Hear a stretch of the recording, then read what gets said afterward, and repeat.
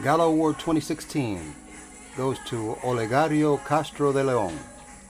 Lifetime Achievement for Outstanding Devotion, Consistency, and Noble Dedication in the Labor of the Lord. From all of the families of the Gala Foundation, congratulations goes to this legendary gentleman in the sinagoga, Olegario Castro de Leon.